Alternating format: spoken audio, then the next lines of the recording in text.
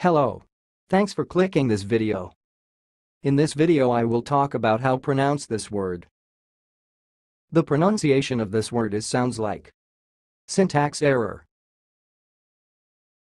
syntax error. I will repeat more slowly. Syntax error. Syntax error.